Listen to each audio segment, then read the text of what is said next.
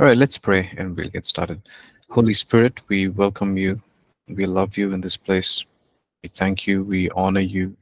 You're wonderful, magnificent, beautiful, glorious, all powerful, all knowing, ever present God. You are. We we honor you in this place.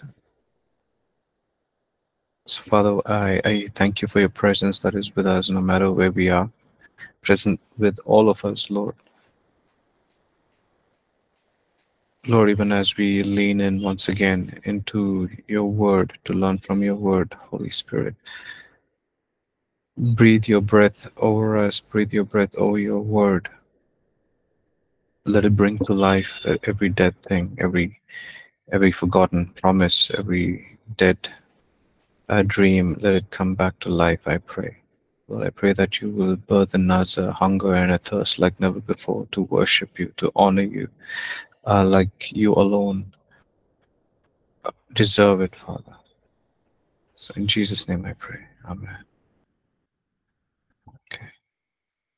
All right. Um, so in this class, in this today's session, we'll learn uh, about, we'll continue for in chapter six uh, on becoming a worshiper. Okay, becoming a worshiper. So in the previous class, just to do a, a very quick recap, we spoke about uh, spiritual worship versus fleshly worship, right? Or, or, and then we concluded by talking about uh, idolatry, idol worship, and the dangers of idol worship, isn't it? So that's what we discussed. Um, it is the Holy Spirit that helps us worship in spirit and in truth. And the opposite of worshiping in truth is false worship um, and so we we looked at uh, many scriptures quite uh, in in depth. But today we'll look at just one example without uh, turning a lot of pages. Uh, we'll, look at one example of extravagant worship, a worship, an example of an extravagant worshiper. Um, so, what is an extra? What is the meaning of the word extravagant? In your own words.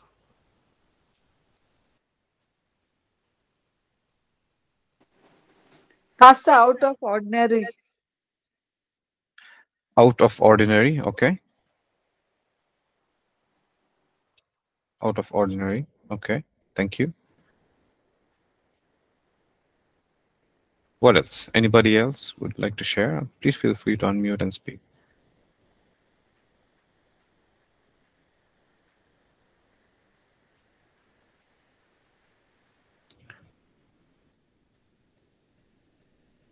Extravagant is an action uh, that is uh, expressing yourself uh, without any restraint, like without anything holding you back.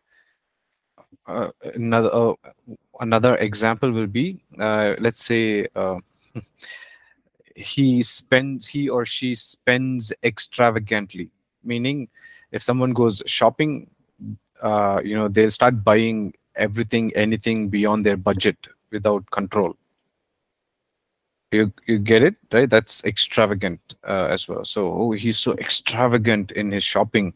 Uh, he just buys things without any control. So you know uh, and it's an action that is expressed without any restraint. Okay? I hope we kind of got that. So thank you rich. Grand. Different. Um yep. Okay so, uh, what we're going to look at today is an example of an extravagant worshiper. In other words, that a, a person who expressed worship without any restraints, who did not hold back in expressing. Okay, so that's what we're going to look at. Let us all turn to Luke chapter 7. In your Bibles, uh, turn to Luke chapter 7.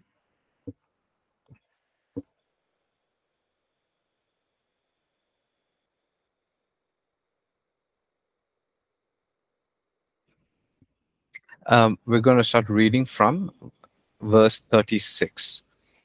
Luke chapter 7, verse 36 onwards. Okay.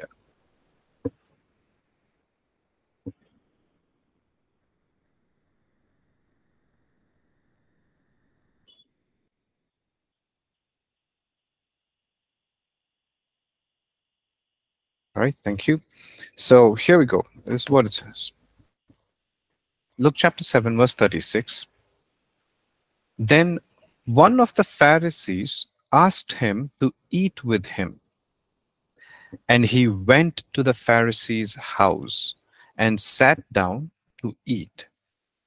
And behold, a woman in the city who was a sinner when she knew that Jesus sat at the table in the Pharisee's house, brought an alabaster flask of fragrant oil and stood at his feet behind him, weeping. And she began to wash his feet with her tears and wiped them with her hair of her head.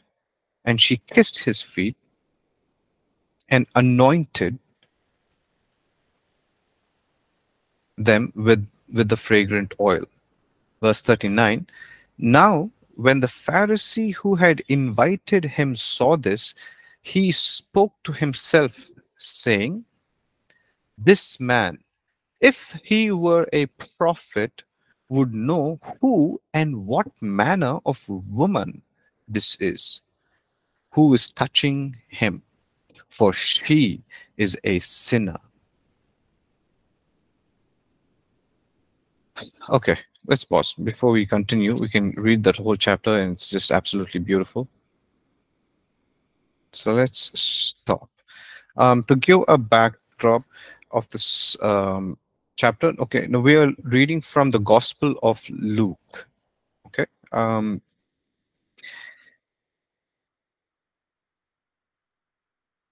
and from verse 36 onwards, we don't know who this Pharisee is. You, you know, we can we can dig deeper and study. But it says in verse 36 Then one of the Pharisees asked him to eat with him. And Jesus went to the Pharisee's house and sat down to eat. Okay, so what's happening is in, in their culture, in the Jewish culture, uh, if a rabbi, uh, uh you know, a teacher of the law came to a town or a village, uh, and if if someone is hosting the rabbi, they will have something called the open house. Open house means the the person who is hosting the rabbi or a teacher or a prophet, their house would be open to the entire village. So anybody from the town in that village can come to their home. And so, and this is a very, uh, you know, great uh, grand event uh, apparently because a rabbi is coming a pharisee has in, invited. And in this scenario it happens to be jesus who's invited. And so the word has spread oh, across the village saying okay there's this rabbi called jesus coming. There's this rabbi called jesus coming. And so the word has spread. The house is open to all the neighbors everyone. Uh, you know so everybody is living there. There are a lot of people in the living room and whatnot, right? And so Jesus comes and he sits at the table. Now, again, once again, in their culture, they they don't sit like how you and I are sitting, like you know, on a chair, on a table.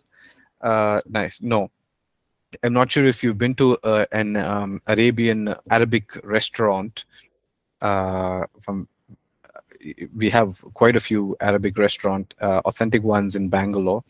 Uh, some of them have these, uh, you know, where you sit on the floor and you recline like this, you know. So you actually sit on the floor on a bed and, you know, the food plate will be kept down uh, on a mat. And so you recline, your legs will be, you know, you hope you get what I'm saying, right? So that's how you recline. And, uh, and one person you know. So if if i'm here another person in a very similar posture would be behind me here. And so if i have to talk to that person i just have to turn my face and the person will be behind me and you can speak. So that was the setting in how uh, they would dine. You know the, the guests would rest. Uh, you know it was a very relaxed atmosphere. It was a very relaxed posture as well. Okay they're just going to sit and chill and have some bread and cheese. Okay, so uh, probably some wine. Uh, so that's what's happening. And then here we see the story in verse 37 unfolding. And behold, a woman in the city who was a sinner. Okay, uh, let's stop again there. Now, the translation by now it's become very diplomatic. Diplomatic means it's being very nice. So she's an, uh, a, a woman who is a sinful woman who is a sinner. Uh, but a more stronger translations will say an adulterous woman. But in all rawness, okay, uh, let's take off the veil of uh, hiding behind this thing of say, oh, Christian. But what it's actually saying is that she was an adulterous woman, which in other words means prostitute.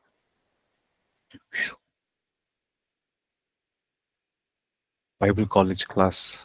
How can I mention those words? What are you teaching us, Pastor? Well, it's what it is. You have a problem with that, we have to learn to deal with it. Bible doesn't hide anything. Bible has never hidden anything from the beginning. Uh, it states what it is. So, an adulterous woman, a woman who did who was who did not have a very good reputation in the village. Everyone in that village knew who she was and what she did for a living. Everyone in that village, in that town, knew who this woman was and what she did for a living. Now, can you imagine the heart rate of this woman? Let's put ourselves in her shoes, okay? Uh, just ima- can you can you imagine with me? Is that okay? Yeah, will you imagine with me? Let's go on this uh, small little journey if we can. Right? Imagine comes from the word image, uh, magi, magi, magic. All of that comes from the word imagine. Imagination is one of the most powerful tools God has given to us. Uh, you know, magi from the east came. we see that in Matthew, right? So, imagination, image, uh, magic. So let's go on this journey of imagination. Um, okay, let's put ourselves in her shoes. Thumbs up. Okay. So I've heard, we've heard that Jesus is coming to town. And he is there in this in this person's house. And this person is not an ordinary person. This person is a Pharisee. He is a scribe. He works in the temple. He's a priest. The Pharisees and the Sadducees, they are not ordinary people. They ever had a certain esteem in the society. So Jesus in the in the house is in the house of a Pharisee. But I want to go meet him. I know I am a sinner. I know I am I have lived a sinful life. I am unholy. I am unclean. I am not worthy. But I'm broken on the inside. I want healing. I want to meet that man. Her heart is racing. Right? It's beating really fast. What do I do? What do I do? Should I go? Should I not? Should I go? Should I not? Should I go? Should I not? And finally, she makes up her mind. She takes an alabaster jar with her. And she starts walking. Probably sweating. You know, she's her heart is filled with anxiety. She's stressed. She might be stressed. She's uh, got her head down. That's like the walk of shame, isn't it? um, because she knows everybody. Everybody in the town knows who she is, what she's do- what she does for living. But sh- there she is. She's taking the jar of oil and she's walking. And then she comes to the house. She stands at the entrance of the door. And as she's standing at the entrance of the door, she steps into the house. You can you, you can imagine that okay everybody was having a nice laugh talking loudly. The hall must have been loud with everybody chit chatting you know and as soon as she stepped in the whole room goes quiet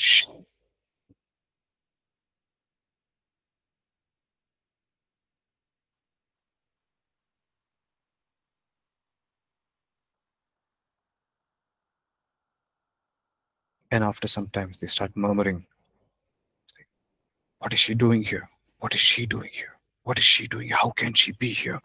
How can she be here? What what what is what is she doing here? What's she doing here?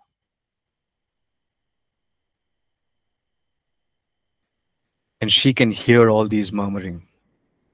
She can she hears okay and she knows that everybody there is talking about her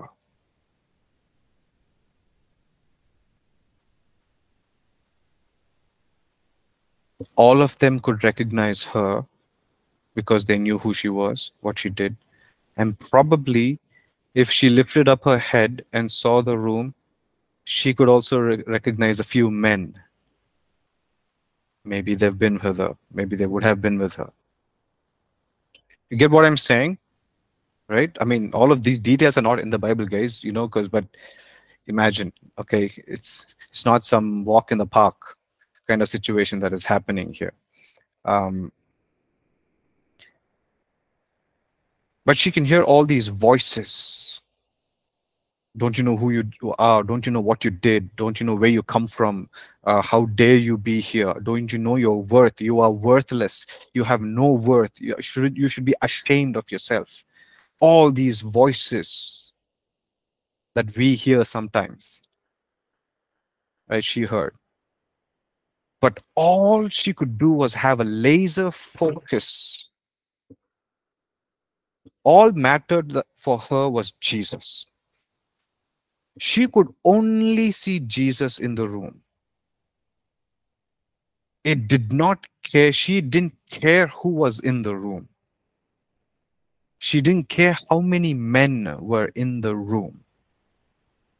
All she could see was jesus she goes straight to him then it says in verse 37 she stood she knew that Jesus sat at the table, brought an alabaster jar of fragrant oil, verse 38, and stood at his feet behind him, weeping. And she began to wash his feet with her tears and wiped them with her hair of her head. And she kissed his feet and anointed them with the fragrant oil.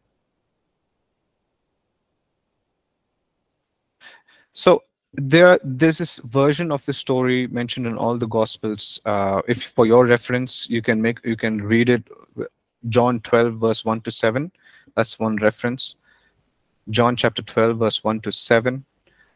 Mark chapter 14 verse 3 to 9. Mark chapter 14 verse 3 to 9 and Matthew chapter 26 verse 7 onwards. Matthew chapter 26, verse 7 onwards. Okay. Uh, once again, John chapter 12, verse 1 to 7.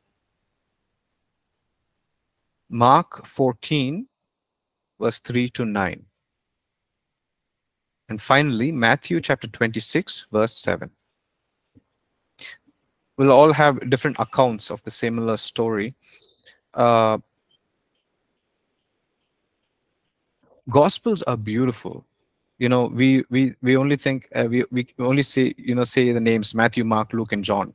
Like it's just some random names. But we forget that they were human beings like you and me. They were actual person. Right? Like four different individuals had their own way of saying a story saying a narrative and luke was very different uh, he would give information of a woman when it is necessary to honor her and hide the in, uh, information of a woman which was unnecessary. In this case, you see, he's hiding the identity of a woman to protect her. But at the same time to honor uh, you know when you read through the genealogy of uh, jesus in the gospel of luke he brings it from the line of mary to honor her. And the same way luke the gospel of luke honors women very differently. And, it's the same thing with all the other gospels as well. They they have their own way of expressing narrative you know it's it's beautiful. Uh, but okay let's just come back to this. Uh, so when you read the other accounts right of the similar story uh, say from Matthew or Mark, it says she brought the alabaster jar and she broke it. She broke the alabaster jar. Now, what's the significant part about it? Uh, you know, uh, I don't have a bottle here. Okay, so okay, don't laugh. Okay, I'm going to use uh, uh, my son's toy is on the table. I did not know it, how it landed up here, but it's here. Don't laugh. Okay. Toy. so let's imagine this is uh, a bottle. Okay. So no. I'm just kidding. Now, if I'm just pouring, I, I still have control over how much I want to pour, right? I can pour, you know, little by little, uh, you know, not everything. But if I break it, I have no control over how much I want to give. Are you with me? And so whe- whe- when the gospel says that she broke the alabaster jar, she was saying that she wants, saying that you are worthy of it all. I don't want to contain it. Another significant part about that oil, that uh, fragrant oil, is the prostitutes in that culture in those days would use that fragrance to seduce men, to allure men into them. Okay? And one more interesting fact about this, uh, the perfume those days, it was very expensive. Uh, the gospel says, the account says, it was worth one year's wages, one year's salary. Okay, we'll get to that in just a minute. Another fact, interesting fact about that perfume was it was exported. That means it was imported by Israel. And it was exported from Nepal and India. So, at the foothills of Himalayas, there are these pink flowers. Right? And so those flowers would be crushed to extract this fragrant oil and put in a jar and then export it. And so that's why it was expensive. And uh, and then you know it was also used to allure men into uh, you know by by prostitutes. So what she was doing is that she was going to him and saying, "I'm breaking this at your feet be- because I don't want to have any control over my oops. I don't want to have any control over my old life. I'm surrendering it all. I'm giving you my past. I'm giving you my everything." And so she leaves it all at his feet. So she breaks it at his feet. She wipes his feet with her hair and she begins to go away. Another interesting point that's mentioned in this account is that it's it talks about her tears. Why is her tears mentioned? Why does it say that you know she stood at his feet weeping?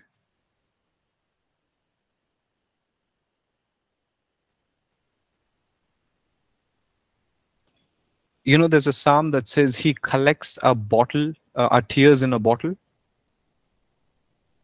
you know that right the bible says he collects our tears in a bottle what's so special about our tears why would have to be mentioned here that she stood at his feet weeping? She wiped his feet with her tears. You see the beauty of tears is uh, you know in the book of revelation it says there will there is coming a day where there will be no shame no pain no tears when we are with our lord in heaven. No shame no pain no tears so when we worship jesus when we choose to worship Jesus in our pain and with our tears, we are giving something to Jesus here on earth what we cannot give him in heaven.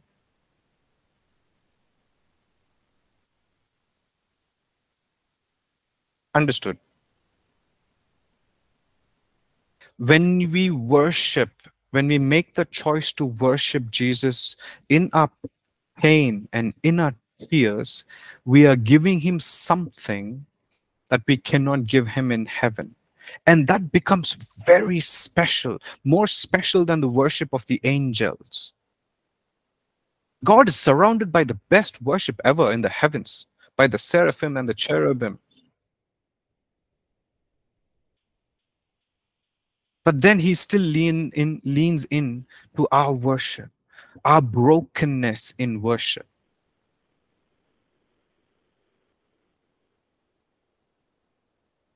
Okay, let's move on. Verse 39 Now, when the Pharisee who had invited him saw this, he spoke to himself. That means he said to himself, If only this man knew if, if he were a prophet, he would know who this woman is, what kind of a woman she is.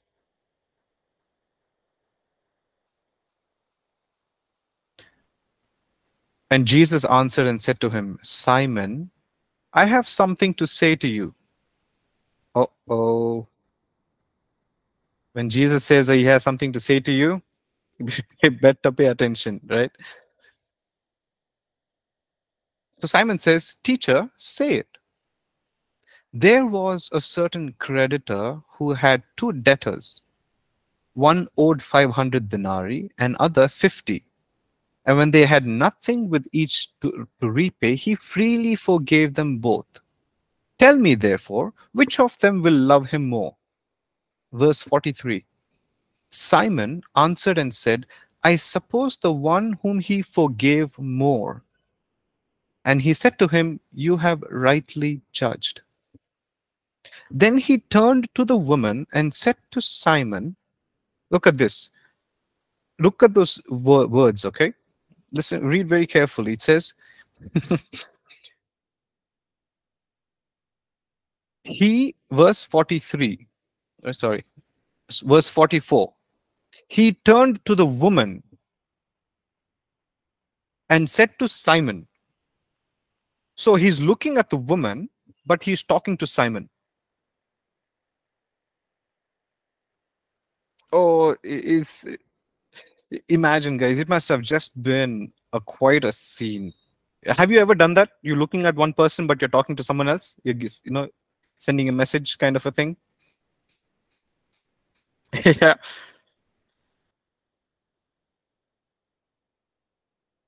So he turned to the woman and said to Simon, Do you see this woman? I entered your house. You gave me no water for my feet, but she has washed my feet with her tears and wiped them with her hair of her head. You gave me no kiss, but this woman has not ceased to kiss my feet since the time I came in. You did not anoint my head with oil, but this woman has anointed my feet with fragrant oil. Therefore, I say to you, her sins, which are many, are forgiven, for she loved much. But to whom little is forgiven, the same loves little. Then he said to her, Your sins are forgiven. Okay, let's. Uh, are you guys okay? You're doing all right? Alive, right? Okay. Okay. So again, what's happening? So he Jesus narrates a story, uh, an example, uh, like a parable, like he always did, um, like they always did in that culture. Uh, he gives an example of two people who owed money to a person uh, and then uh, he asks who would who would be more who would love more and then jesus and i mean sorry the simon the pharisee says the one who was forgiven much that means the one who had to repay more would love much because he was forgiven freely. And jesus looks at the woman and he's talking to simon by saying i, I came to your house. Again once again in, it's very important to know that in their culture any guest who came home the first thing you would do is you would give them water to wash their hands and their feet. Unlike today they wouldn't have reebok or nike shoes fancy shoes to wear and come. They wore sandals. Simple people. And they you know it's the roads were pretty dusty. They would have walked quite a long distance. And so their hands would be dirty. Their feet would be dirty. So first thing that the host of the house would give the guest is water to wash their hands and their feet.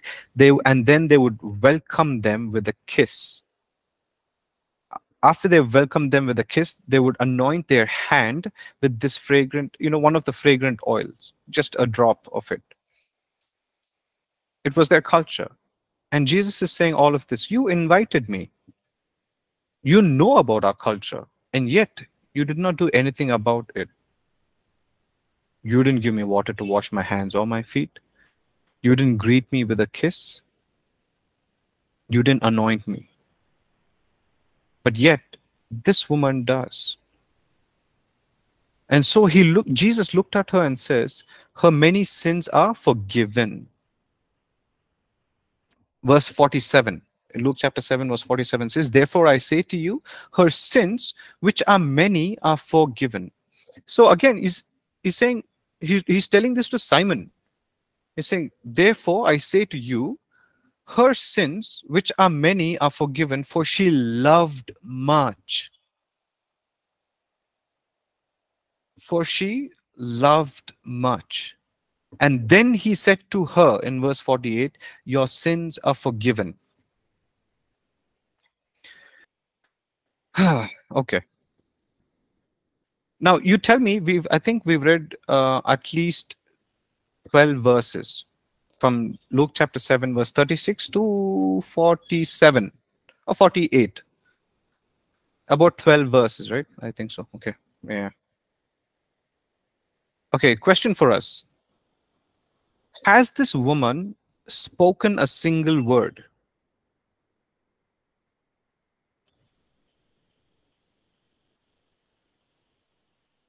Has this woman said a single word?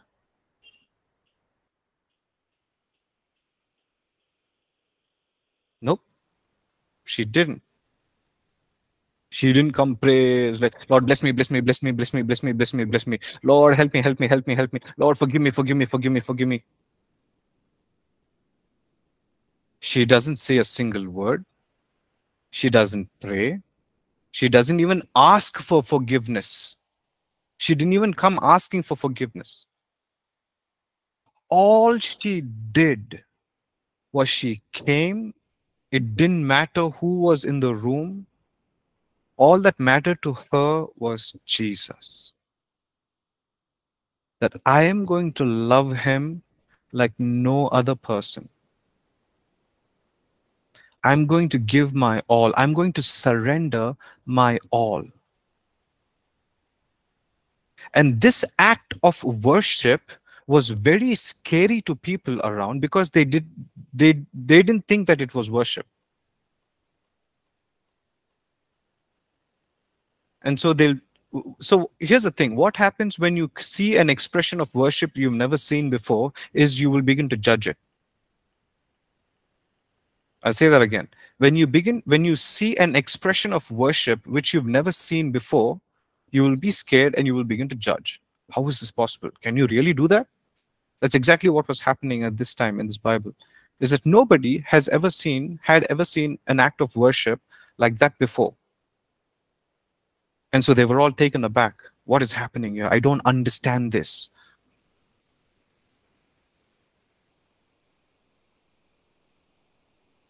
So she doesn't even make a prayer. She doesn't even cry for forgiveness. All she does is she comes and she pours her love on Jesus. She anoints her his head, his feet with the oil, with the tears. She wipes his feet with her hair. Again, in their culture, it was not right for women to let their hair down. Undignified she lets her hair down and she wipes his feet with her hair. And then again, just begin to imagine with me. She does. She was there. She did what she came to do. And now she's slowly walking back. She's slowly walking back. She's collecting the pieces of the jars. Maybe she's walking back with her, again, her head down, with full tears in her eyes. And I'd like to imagine or think that suddenly someone in the room must have asked this question Hey, is that fragrance, that beautiful smell, is that fragrance coming from the feet of Jesus or is it coming from her hair?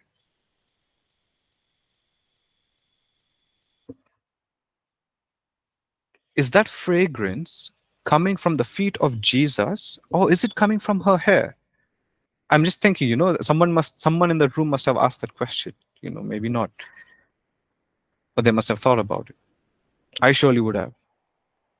But, but the point is this she came in a different person.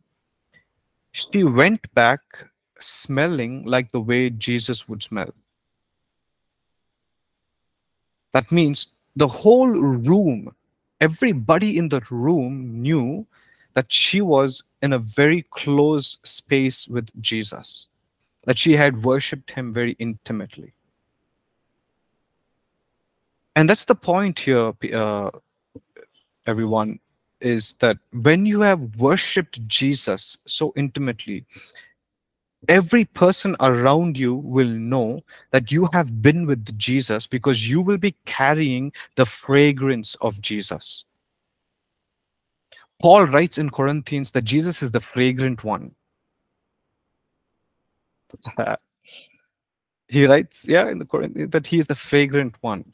And that means when you have spent that intimate time of worship with Jesus, who you are, what you've done, your past, your sins are all wiped away and you begin to smell like him you carry you begin to carry the fragrance of the fragrant one and that is the beauty of being an extravagant worshiper is that we don't go to worship Jesus so I can get a breakthrough, I can get some more money, I can get a healing. All of that is great. All of we need all of that.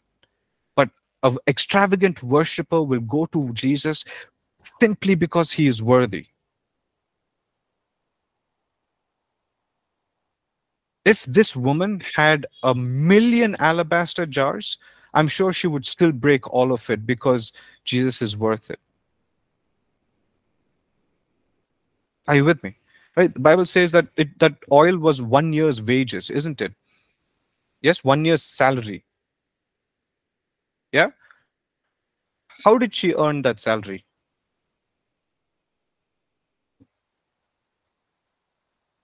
Hmm. Think. So I would want to just. I think I'll pause here. Um, I just want to encourage us all. I I uh, there's so many things that we can take away from her life. Jesus, in another gospel, and I think in Matthew, he says, What she has done will be remembered, will be spoken of in memory of her. What she has done will be spoken or remembered in memory of her. That means when Jesus is saying that, Jesus is saying he wanted her to be remembered. I mean, hold on. Jesus, you know, all your disciples, your apostles are going to die for you. And they all died for Jesus. You know, from from James to Peter, John, all of them died for Jesus. Are you saying that beyond all of them, what they did for you, what they're going to do for you, that she will be remembered?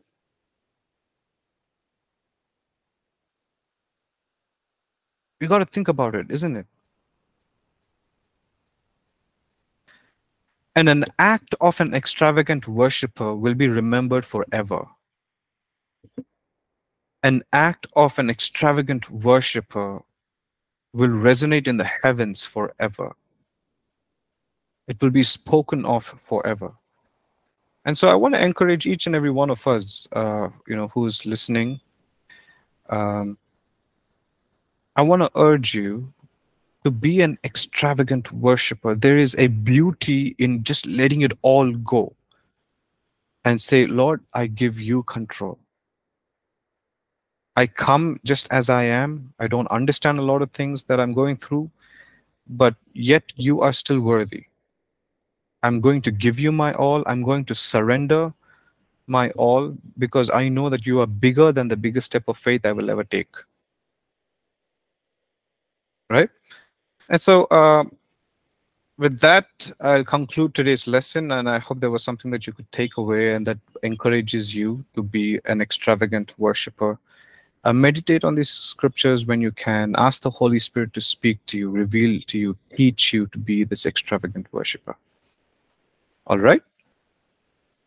Fantastic. Well, thank you all for joining in. God bless you. I'll see you all next week. See you.